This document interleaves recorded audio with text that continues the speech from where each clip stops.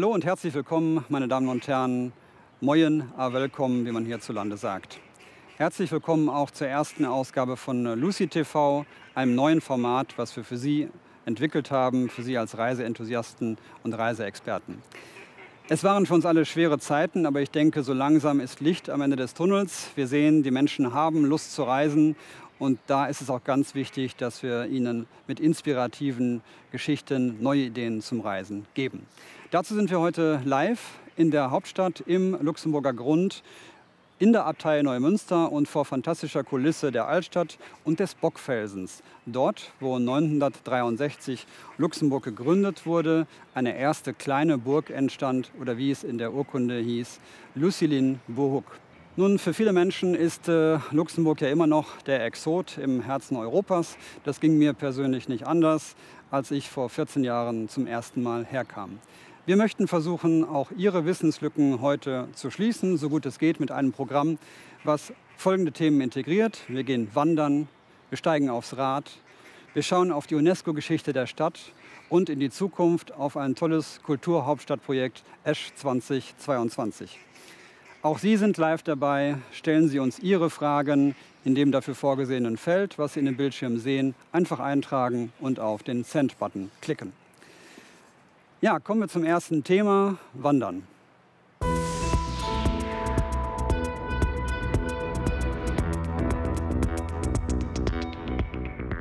Absolutes Trendthema, definitiv in Covid-Zeiten und wahrscheinlich auch darüber hinaus Wandern. Die kleine Flucht aus dem Alltag und sicherlich auch die kleine Flucht aus den irgendwann zu eng gewordenen vier Wänden. Viele Menschen haben es in der letzten Zeit neu entdeckt. Auch hier in Luxemburg haben sich viele Einheimische und Expats, die hier leben, auf den Weg gemacht, haben Luxemburgs Wanderinfrastruktur entdeckt. Und da gibt es in der Tat viel zu entdecken.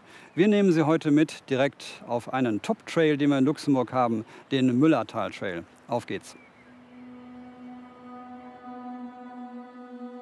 Der Trail wartet auf dich. Auf deine Schritte, deine Atemzüge, deine Blicke. Das Blätterdach rauscht, frisches Grün duftet. Schmale Pfade unter deinen Füßen. Steile Stufen, tiefe Schluchten, enge Felsspalten. Kleine Brücken und Stege, Wasserfälle. Das Müllertal birgt geologische Geschichte und Geheimnisse.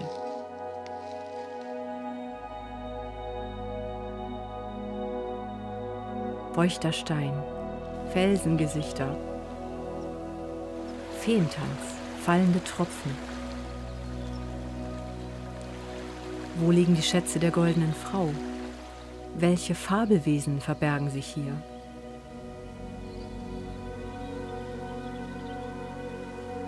Wie kamen die Mühlsteine aus dem Fels an die rauschenden Bäche?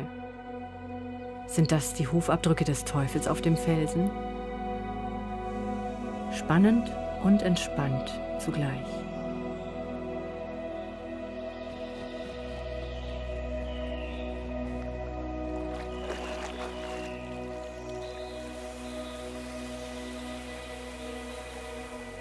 Friedliches Wasser, auf dem deine Augen ruhen. Mache Rast am Fuß der Schlossmauern.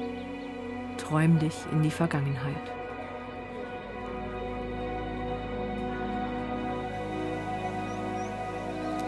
Und dann weiter, Schritt für Schritt, Meter für Meter. Erobere den Trail, werde eins mit ihm. 112 Kilometer. Welche davon sind deine?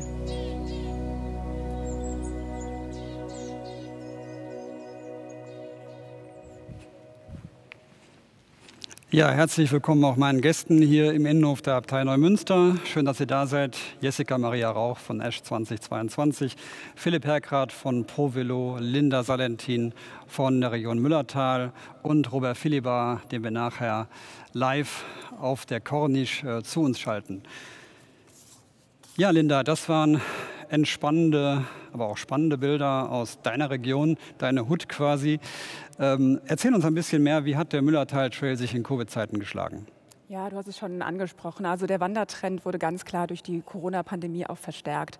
Draußen unterwegs zu sein, sich in der Natur zu bewegen, ein klares Ziel vor Augen zu haben, ist absolut etwas gewesen, was die Leute letztes Jahr auch oder auch dieses Jahr noch, noch sehr genossen haben, auch irgendwo gesucht haben. Und ja, es macht natürlich auch noch ein Stück weit gesund und glücklich, draußen unterwegs zu sein. Und mit dem tollen Angebot an Wanderwegen, das wir hier im Land haben, die toll markierten Wege, da haben wir natürlich auch viele Möglichkeiten, einfach dann auch dieses Bedürfnis, ähm, dem Bedürfnis entgegenzukommen. Ja, mit ein bisschen Glück haben wir gehört, entdeckt man auch dann die Schätze der goldenen Frau. Was gefällt dir äh, persönlich am besten äh, beim Wandern und auch ganz speziell beim Wandern in Luxemburg? Also für mich persönlich, wenn ich wandern gehe, ist es etwas sehr, sehr Entspannendes, etwas, wo ich sehr gut abschalten kann. Also ich liebe es einfach, durch die Wälder der Region Müllertal zu laufen, vorbei an diesen gigantischen Felsformationen, ab und zu auch einfach mal stehen zu bleiben, anzuhalten, die Aussicht zu genießen einfach die ganze Landschaft auf sich wirken zu lassen.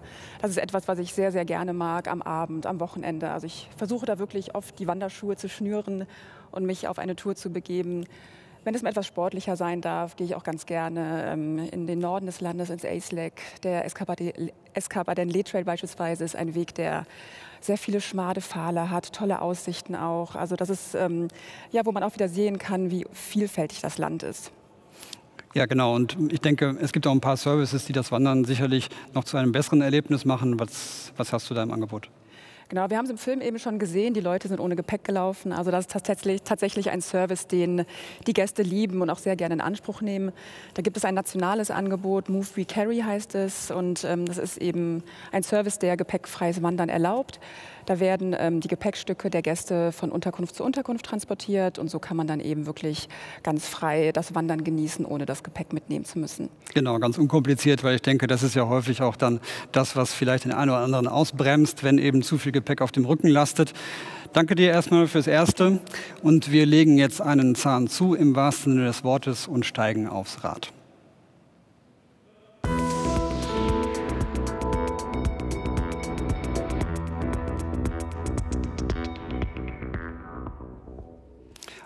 Luxemburg ist eine Fahrradnation. Tour de France, Schleckbrüder, zwei Stichworte, die sicherlich Ihnen auch bekannt sind. Und auch unsere Gäste schätzen das Fahrradangebot, was wir hier im Land haben. Über 90 Prozent zeigen sich zufrieden, nachdem sie hier Urlaub gemacht haben. Eine Zahl, die uns natürlich auch ein wenig stolz macht. Land und Leute entdecken, das klappt mit dem Fahrrad ganz gut. Und wir haben ähm, bei der Vorbereitung einen ganz besonderen Radfahrer entdeckt, nämlich Mike McQuaid. Mike McQuaid ist Amerikaner, kam 2014 mit seiner Frau nach Luxemburg. Die machte berufliche Karriere und Mike eine ganz spezielle mit Blick aufs Land. Am Anfang kannte er nicht mal den Unterschied zwischen Luxemburg und Liechtenstein und inzwischen ist er absolut verliebt. Aber schauen Sie selbst.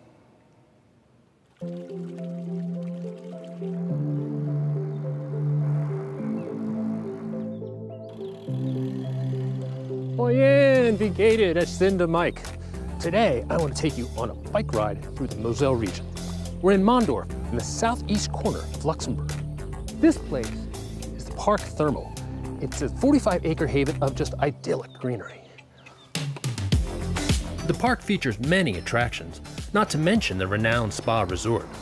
But Mondorf is famous for something else. 2010 is a year that Luxembourg sports fans will never forget because that's the year that Luxembourger Andy Schleck won the Tour de France. Andy Schleck and his brother Frank grew up here in Mondorf, which makes this the perfect place to start our bicycle journey.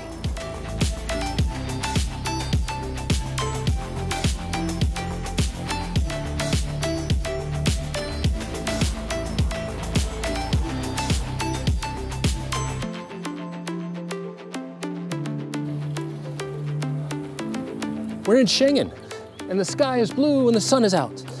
And the reason you're allowed to travel freely throughout Europe is because of an agreement that was signed here. And Schengen has several monuments marking this historic agreement. Let's go have a look.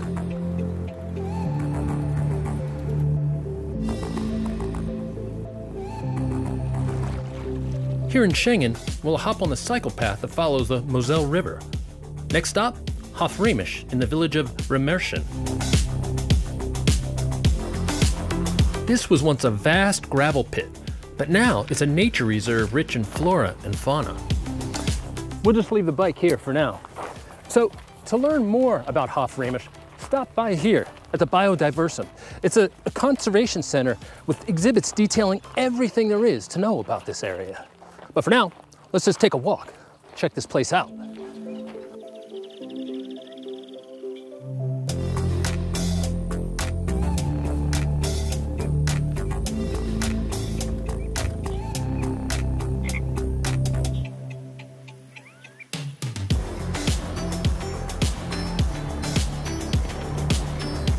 Hey, how you doing?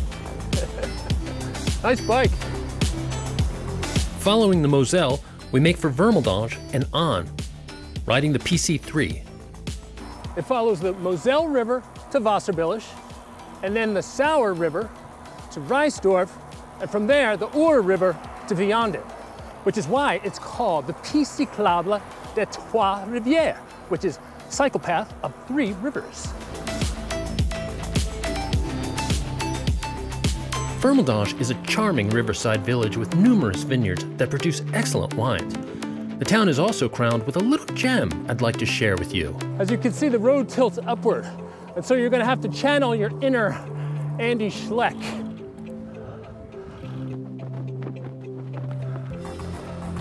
I don't think Andy Schleck did this when he went up the col de Tourmalet.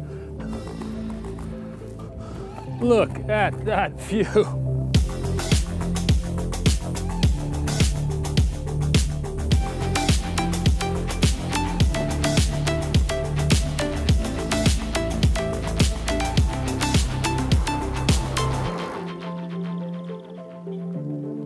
Honestly, this is just a fraction of all the things you can discover in the Moselle region.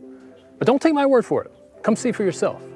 While I enjoy some of the best the region has to offer. Addy Chow, tip top.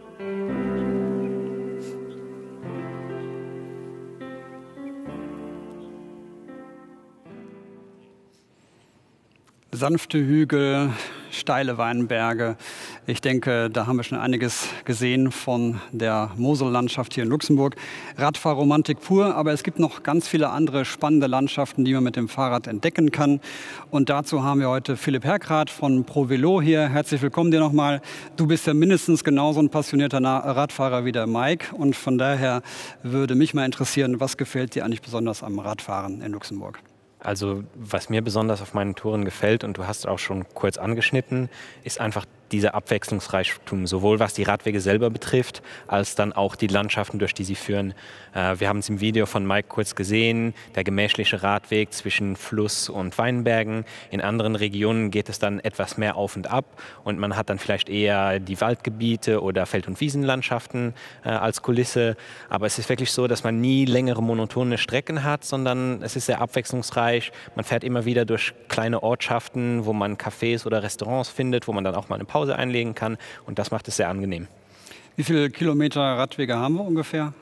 Also unser nationales Radwegenetz besteht aktuell aus etwas mehr als 600 Kilometern, die auch größtenteils vom Verkehr getrennt sind. Dazu kommen dann noch äh, eine Reihe von regionalen oder äh, kommunalen Routen, welche meist auf Feldwegen oder verkehrsarmen Straßen verlaufen. Äh, es ist aber dann auch noch so, dass wir für die Mountainbike-Cracks auch noch mal äh, mehr als 700 Kilometer Trails und Pisten zu bieten haben. Das heißt, hier kommt eigentlich jeder Radfahrer auf, seinen, auf seine Kosten. Genau, also tolles Wegenetz, denke ich, insgesamt. Mhm. Ähm, jetzt ist ja das Problem, was ich auch irgendwann habe, wenn ich viel unterwegs war, meine Beine werden müde. Ab und zu hat das Rad auch mal die eine oder andere technische Schwierigkeit. Was passiert dann? Gibt es spezifische Beherbergungsangebote und was machen die mit dem defekten Fahrrad? Also wir haben hier in Luxemburg das Ben Bike Label, was vielleicht auch einige der Zuschauer bereits kennen, weil es kommt ursprünglich aus Deutschland, äh, ist mittlerweile in vielen Ländern schon etabliert. Äh, das heißt, das ist ein, ein Label, was an äh, Beherbergungsbetriebe, und das sind sowohl Hotels als auch Campings und Jugendherbergen, vergeben wird. Ähm, welche einfach bestimmte Kriterien erfüllen, um den Aufenthalt für Radfahrer so bequem und angenehm wie möglich zu machen. Ähm, du hast kurz erwähnt, die Reparaturmöglichkeiten, also sie verfügen über die wichtigsten Tools, damit man einen Reifen äh, flicken kann, damit man die Kette nachölen kann oder so weiter. Es gibt dann aber auch noch andere Angebote. Äh, zum Beispiel ist ein Kriterium, dass sie ein Rad, auf Radfahrer angepasstes Frühstück äh, zur Verfügung stellen müssen. Das heißt, möglichst Kohlehydrat- und vitaminreich, dass man wirklich gut gestärkt auf die Tour starten kann. Mhm.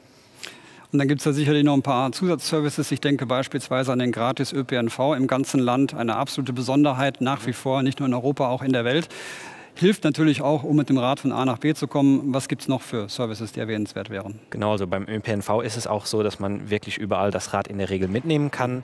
Ähm, Linde hatte vorhin auch schon kurz äh, den Move We Carry angesprochen. Das ist ein Service, der natürlich auch für die Radfahrer äh, zur Verfügung steht. Und dann ist vielleicht noch interessant für die Touristen, die nicht unbedingt ihr eigenes Rad mit in den Urlaub nehmen möchten. Äh, da gibt es fast in allen Regionen Luxemburgs das äh, Rent-a-Bike-System. Da kann man dann für einige Stunden oder auch mehrere Tage ein Rad ausleihen und damit die Umgebung sehr einfach erkunden. Perfekt. Und du hast die Umgebung angesprochen. Wir sind ja hier in der Hauptstadt und die Hauptstadt kann man mit dem Fahrrad auch wirklich wunderbar erkunden. Es gibt Leihfahrradstationen an allen Ecken, wo man sich ein Rad mitnehmen kann und es ein paar Meter weiter wieder abstellen kann, wenn man eine schöne Sehenswürdigkeit entdeckt hat. Ein fantastisches Radwegenetz und die Hauptstadt ist mit viel Grünflächen wirklich einladend, auch sie entsprechend so zu erkunden. Bei alledem, was mich sehr fasziniert, ist aber der Lifestyle dieser Stadt.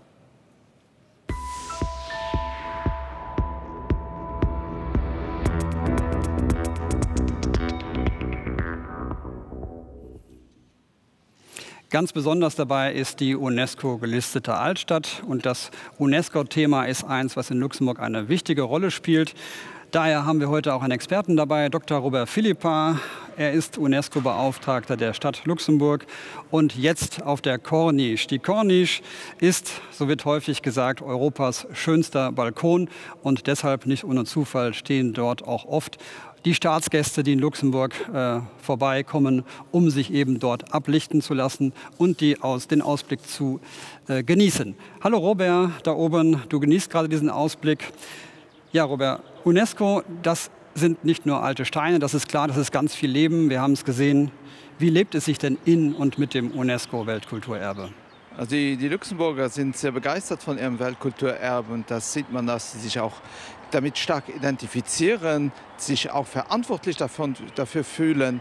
Das erkennt man direkt an dem gepflegten Stadtbild. Es ist sehr sauber, die historische Bausubstanz ist äh, wunderbar erhalten und in Wert gesetzt. Die Leute leben draußen in wunderbaren Parks mit äh, Panoramaaussichten und lassen es sich richtig gut gehen und, und fühlen sich hier wohl.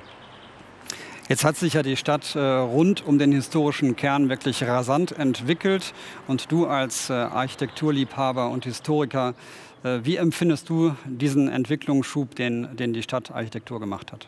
Die, die Stadt entwickelt sich sehr rasch und äh, sehr ergänzend. Das ist auch durch die Topografie recht einfach möglich auf den verschiedenen Hochebenen. Ich denke das besonders an das neue Viertel von Kirchberg mit äh, hervorragenden Architekten wie Eo Ming Pai, der das Mudam, das Musée d'Art Moderne errichtet hat, oder Christian de Port-Saint-Pac, der die Philharmonie äh, entworfen hat, oder Roger Taillibert, der das Schwimmbad äh, Piscine Olympique entworfen hat.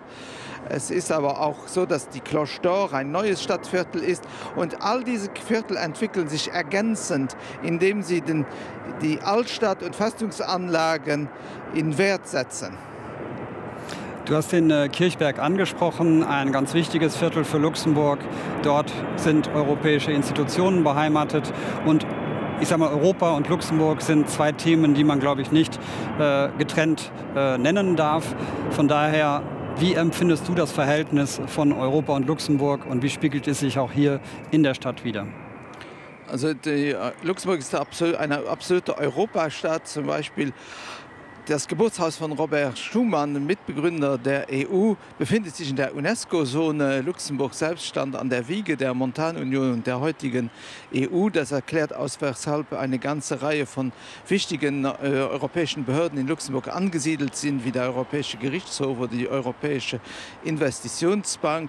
Und das ganze UNESCO-Welterbe äh, selbst ist Europa pur die Kasernen aus spanischer Zeit oder die Festungsanlagen von Vauban aus französischer Zeit, die Kasmatten aus österreichischer Zeit, äh, die äh, Anlagen aus preußischer Zeit.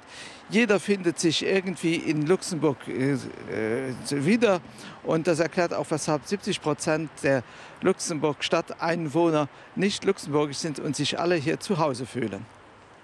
Ja, vielen Dank, Robert. Soweit nach oben auf die Corniche. Ganz wichtig für Europa ist noch ein anderes Thema, was nämlich ganz viele Verbindungen schafft, und zwar die Kultur.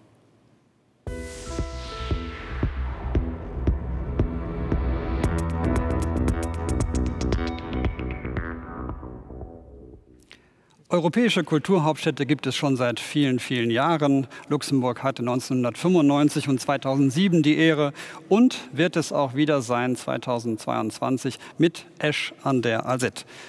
Luxemburgs zweitgrößte Stadt im Süden gelegen, ist vor allem geprägt durch einen ganz starken Wandel. Industrieerbe ist dort an jeder Stelle zu sehen, und zwar aus der Eisenerzproduktion, Stahlproduktion hin in die Wissensgesellschaft. Und diesen Wandel, diese Transformation können wir dort spüren. Ein perfektes Umfeld für Kulturleben, aber ich würde sagen, sehen Sie selbst.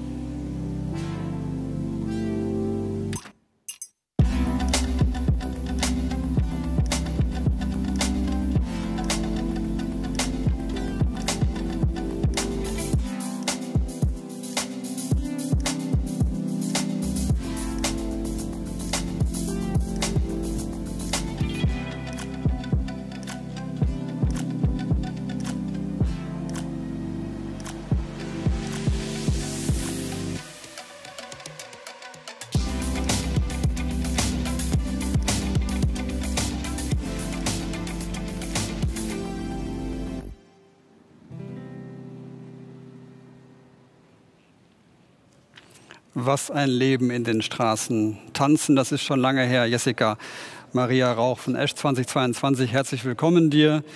Danke. Wie lebt es sich im wilden Süden? Ja, wie lebt es sich dort? Es ist sehr multikulti. Es ist eine Grenzregion. Ähm, du hast schon Esch Alzette äh, erwähnt, das die zweitgrößte Stadt ist. Und sie ist zusammen mit den umliegenden luxemburgischen und französischen Gemeinden europäische Kulturhauptstadt im nächsten Jahr. Und äh, wir sind da in dieser Grenzregion, wo einfach ähm, das Europa und das Europa der offenen Grenzen eigentlich jeden Tag gelebt wird.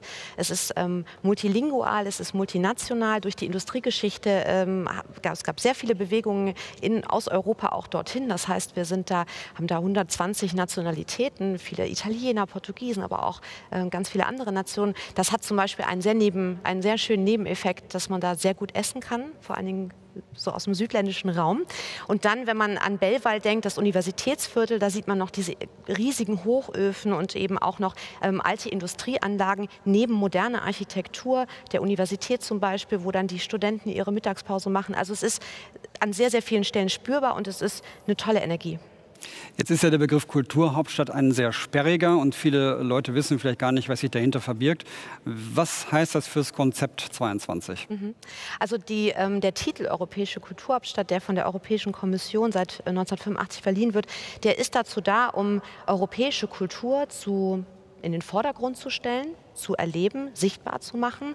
Und somit äh, wird eben nächstes Jahr das Spotlight und auch hoffentlich in den Jahren danach auf den Süden gelegt. Und ähm, wir entwickeln dort ein internationales und äh, sehr breit gefächertes Programm mit sehr vielen Partnern zusammen, mit Künstlern, Kreativen. Wir haben es im Video gesehen. Es gibt Street Art, es gibt auch Hochkultur, es gibt ein gutes Theater in Esch, das eine lange Tradition hat. Also da kommen ganz, ganz viele verschiedene äh, Menschen zusammen, die etwas Gemeinsames schaffen, das auch in die Zukunft ausstrahlen soll. Also ganz viel Energie. Ich sag mal, für euch ist es äh, quasi übermorgen, für uns sind es noch gute sechs Monate, bis es losgeht. Was ist konkret geplant? Gibt es ein paar Programmhinweise, die du uns geben kannst? Ja, also am 22. Februar, um genau zu sein, geht es los. Und ähm, es ist ein sehr buntes Programm. Also das Ganze steht unter der Headline Remix Culture, also der Mix aus alt, neu, ähm, aus den verschiedenen so Hoch- und Alltagskulturen. Ähm, der spielt da eine große Rolle. Europäische Themen, aber auch das Thema Natur ähm, spielt da eine große Rolle. Wir haben in den ehemaligen Tagebaugebieten im Süden sehr, sehr schöne Naturschutzgebiete heutzutage, die man auch gut erwandern und mit dem Fahrrad auch erkunden kann. Eine Minute Cycle Tour ist da geplant mit insgesamt drei Routen. Ähm, es gibt auch einen Minute Trail und ähm, das sind 90 Kilometer Wanderweg und ähm, da kümmern wir uns zum Beispiel auch um die infrastrukturelle Bespielung. Hm. Also da gibt es Kulturbespielungen am Rande, äh, am Wegesrande und auch Übernachtungsmöglichkeiten, die im Zuge eines Architekturwettbewerbs äh, entstehen. Ganz außergewöhnliche, zum Beispiel in einem alten Bahnwaggon. Und äh, ja, da gibt es schon sehr viel zu entdecken und auch Möglichkeiten, sich länger aufzuhalten. Und es gibt ein paar Unterkunftsmöglichkeiten, die jetzt noch speziell fürs Kulturhauptstadtjahr gebaut werden, richtig? Genau, das sind die Giten entlang des Trails. Mhm. Dieser Trail verbindet alle Gemeinden miteinander und ähm, ja, da kann man dann auch, äh, wie ich schon sagte, also in einem Eisenbahnwaggon oder es gibt verschiedene Pop-up-Konzepte, eine alte Schule, die umgebaut wird. Also das ist ganz, ähm, ganz spannend. Ja, danke Jessica. Daumen drücken fürs nächste Jahr ist definitiv das oberste Gebot, weil ich denke, so ein Konzept funktioniert nur, wenn auch wirklich auf der Straße was los ist. Wobei ich davon überzeugt bin, dass es auch sicherlich im Zweifel Alternativangebote geben wird. Ja, meine Damen und Herren, jetzt ist es Zeit für Ihre Fragen und äh, Dazu wende ich mich an meine Kollegin Birgit. Die hat die Fragen verfolgt, die im Laufe der Sendung gestellt wurden. Birgit, was hast du für uns? Danke, Sebastian. Ähm, es wurden einige Fragen gestellt. Wir haben mal drei rausgegriffen. Das erste ist die Frage nach dem Angebot für Familien. Was hat Luxemburg denn da zu bieten, speziell für Familien? Ja, wir, wie sieht es da aus? Wer fühlt sich bereit für eine Antwort. Familien ist ein großes Thema. Müllertal, denke ich, Wandern mit Familien, ist das ein Thema? Absolut. Also im Prinzip die ganze Region Müllertal ist wie ein großer Spielplatz, ein großer Abenteuerspielplatz auch für Kinder. Also die ähm, Felsformationen sind teilweise wie ein, ein natürliches Labyrinth mhm. aufgebaut, wo Kinder ähm, sehr viel Spaß haben, da durchzulaufen und äh, man auch ein bisschen Zeit einplanen muss, weil sie doch an jeder Ecke was entdecken und ähm, ja, einfach auch das Wandern dann so dem Kind irgendwie auch gut nahegebracht werden kann. Genau. Und äh, gerade beim Fahrradfahren, ich denke, da kommt wahrscheinlich dann auch die, die Radwegeinfrastruktur dem Ganzen zugute. Genau, also und es ist besonders eben auch so, dass viele unserer Radwege entweder entlang von Flüssen oder äh, über ehemalige Bahntrassen verlaufen. Das heißt, da sind auch in der Regel äh, die Steigungen relativ moderat und es ist so, dass das eigentlich für jedes Alter gut zu bewältigen ist und somit auch sehr familienfreundlich. Okay. Eine nächste Frage. Was haben wir noch, Birgit? Zweite Frage. Ähm, welche kulturellen Highlights könnt ihr uns besonders empfehlen? Ja, spannende Frage, weil wir natürlich in einem kulturellen Highlight gerade zu Gast sind, der Abtei Neumünster, wo normalerweise ein umfangreiches Programm organisiert wird. Aber vielleicht haben wir noch ein paar andere Highlights. Wer möchte wie sieht es aus? Im Süden haben wir schon gehört, gibt es viel? Ja, sicherlich. Ich wollte auch vielleicht noch, das kann ich kombinieren, weil auch für Familien gibt es sehr, sehr viel. Und das, was auch Teil im Programm ist, äh, das fängt beim Marionettentheater an. Das hört bei Workshops äh, im Zuge von Kunstausstellungen auf. Und einen Ort möchte ich da, oder zwei Orte eigentlich erwähnen. Das ist einmal der Märchenpark in Betonbourg, der Park Merveilleux. Ähm, immer noch, glaube ich, die beliebteste Touristenattraktion in Luxemburg mit einem Tierpark. Und ähm, dann gibt es La Sauvage, ein äh, Ort in der Gemeinde Differding, wo das ist ein historisch gesehen sehr wichtiger Ort mit verschiedenen Grubeneingängen, auch einer alten Bahnlinie. Und dort fährt zum Beispiel noch ein äh, Zug aus, ähm, vom, aus dem Jahr 1900. Mhm. Also das ist ähm, sicherlich was, was auch Kindern sehr viel Spaß macht. Ansonsten haben wir natürlich Tanzdarbietungen, die sich dann in der Kulisse der Hochöfen äh, zeigen werden. Und Musikkonzerte, die Rockhall ist in Bellwall, auch das ist ein Partner von uns. Also um das Thema Musik, Kunst, Kultur gibt es da ein, ein riesiges Angebot. Ganz nah hierbei natürlich auch die Philharmonie als großes Konzerthaus des Landes. Und in Echternach, Linda, gibt es auch einen kulturellen Schwerpunkt, nicht nur weil Echternach die älteste Stadt des Landes ist. Genau, ich meine, Pfingsten steht vor der Tür und normalerweise an Pfingstdienstag findet die Springprozession in Echternach statt. Äh, wir hatten das Thema UNESCO eben auch schon. Also die Springprozession ist auch prämiert als äh, immaterielles Weltkulturerbe. Würde normalerweise am Pfingstdienstag stattfinden. Auch dieses Jahr müssen wir es in einer anderen Form wieder feiern. Aber natürlich hoffen wir, dass wir dann nächstes Jahr wieder in der ursprünglichen Form die Springprozession machen können. Das hoffe ich auch. Birgit, Zeit für eine dritte Frage hätten wir noch. Die dritte Frage, ähm, was jede Reise schöner macht, was isst und trinkt man denn in Luxemburg? Ah ja, das ist die Preisfrage. Philipp, was isst und trinkst du gerne in Luxemburg? Also mittlerweile vielleicht nicht mehr so gerne, weil ich hauptsächlich vegetarisch esse, aber mein Highlight war früher immer die Weinsoßis. Also eine Wurst mit einer Genau, mit einer, ähm, mit einer Senfsoße Genau. dabei. Ähm, und beim Trinken, ich meine, wir haben Mike gesehen, der äh, einen, einen Wein getrunken hat. Äh, auch Bier gibt es hier äh, im Lande viele kleine Brauereien, wo es durchaus was zu entdecken gibt, glaube ich. Genau, so ein paar wirklich typische Luxemburger Produkte und natürlich die Jessica hat es eben schon angesprochen. Der Multikulti-Mix hier im Land führt natürlich auch zu einer fantastischen gastronomischen Vielfalt, die man hier ohne Probleme entdecken kann. Ja, meine Damen und Herren, damit wären wir auch langsam am Ende der Sendezeit. Es sind noch viele weitere Fragen reingekommen und ich möchte Sie da auch gerne auf unserer Website ähm, aufmerksam machen, auf der wir ein umfangreiches Informationspaket für Sie geschnürt haben. Darunter auch Programmvorschläge, Bild- und Textmaterial zu Ihrer Verfügung und natürlich die Kontaktdaten meiner sympathischen Kollegen, die sich vom Trade Department dann um Ihre Anfragen kümmern werden. Wir helfen Ihnen da ganz gerne. Ja, zum Ende bleibt mir nur noch Ihnen im Auftrag von uns allen fürs Zuschauen und für Interesse zu danken. Hoffentlich sehen wir uns bald mal persönlich in Luxemburg. Ich würde mich freuen, wir uns alle würden uns freuen. Bleiben Sie gesund. Merci, bis geschwind.